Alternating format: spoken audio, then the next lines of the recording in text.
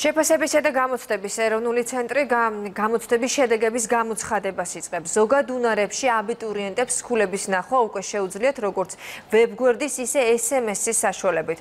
წელს 38000 აბიტურიენტიდან ბარიერი ზოგად უნარებში 13%-ზე მეტმა ვერ გადალახა. ანი გუმბერიძე გვეტყვის ახლა დეტალებს, ანუ კი არის თუ არა ეს საგანგაშო მაჩვენებელი.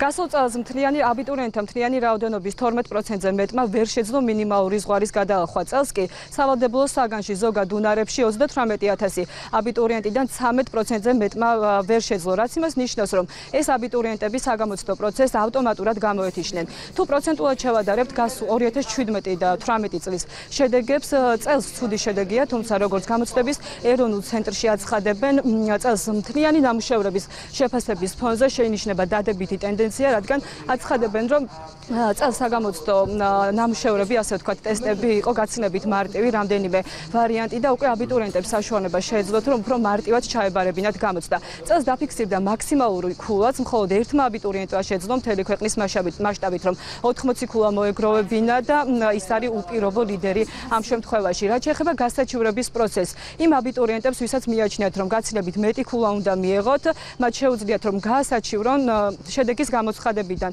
5 დღის ვადაში, ანუ მათ დღეიდან უკვე შეუძლიათ 5 დღის ვადაში სააპელაციო საჩივარი გამოცდების ეროვნული ცენტრის ვებგვერდზე ელექტრონულად შეავსონ.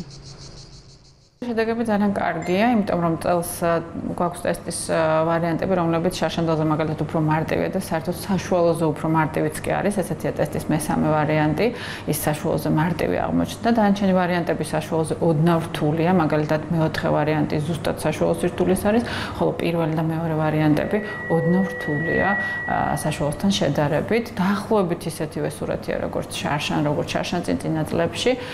სამწუხაროდ ყავს აბიტურიენტთა ნაწილი, რომელმაც ბარიერები ვერ გადალახეს, ეს არის 13%-ზე ცოტა მეტი, მაგრამ ყავს ძალიან ბევრი აბიტურიენტი, რომელიც წარმატებით აგრძელებს კონკურსში მონაწილეობას. სასიხარულო ისე რომ ყავს აბიტურიენტი, რომელმაც მაქსიმალური ქულა დაიმსახურა მეოთხე ვერსიაში ტესტის 80-ვე ქულა აიღო.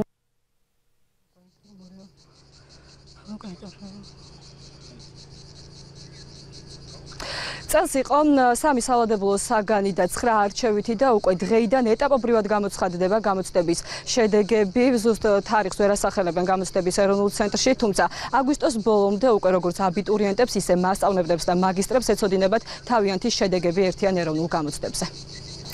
ატლბანი გუმბერიძე საუბრობდა პირდაპირ ეთერში.